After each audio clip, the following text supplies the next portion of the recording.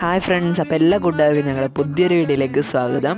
അപ്പോൾ ഇന്ന് നമ്മൾ പോകാൻ പോകുന്ന ടിപ്പു സുൽത്താന്റെ കൊട്ടാരത്തിലേക്കാണ് കേട്ടോ അപ്പോൾ ഫ്രണ്ട്സ് വീഡിയോ ഇടാൻ വൈകിയതിൽ സോറി കേട്ടോ അപ്പോൾ ഇതിന്റെ ഫ്രണ്ട് വ്യൂ ഒക്കെ കാണാൻ നല്ല രസമുണ്ട് കേട്ടോ പിന്നെ ഇവിടെ മൊത്തം പച്ചപ്പാണ് കേട്ടോ അപ്പോൾ ഫ്രണ്ട്സ് ഇതിന്റെ ഫ്രണ്ട് വ്യൂ പൊള്ളിയാണ് കേട്ടോ ഗൈസ് ഒരു നല്ല ഗാർഡനൊക്കെ ആയിട്ട് താജ്മഹലിലേക്ക് പോകുന്ന വഴി പോലെയാണ് കേട്ടോ ടിപ്പു സുൽത്താന്റെ കോട്ടയിലേക്ക് പോകുന്ന വഴി.